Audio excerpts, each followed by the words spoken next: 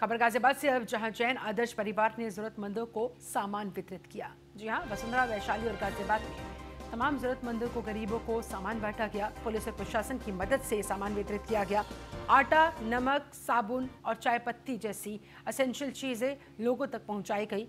Police और जैन आदर्श परिवार की ओर से नरपाल सिंह संदीप जैन उपयोग कर रहे हैं मौजूद नज़र आए। और जैन आदर्श परिवार ने अभी तक 300 पैकेट का वितरण कर दिया है। ज़रूरत पड़ने पर 2000 पैकेट्स का वितरण और करवाया जा सकता है। और ये देखिए, यहाँ पर भी सोशल डिस्टेंसिंग का पूरा पूरा ध्यान रखा गया। ये ज़मीन पर गोले बना दिए गए हैं। इन्हीं गोलों में लोगों को रहने के लिए, खड़े होने के लिए कहा गया है, ताकि उचित दूरी पर खड़े होकर लाइन बनाई जा सके। और इस तरह से एक एक करके इन सभी लोगों को ये सारा ज़रूरी सामान वितरित किया गया।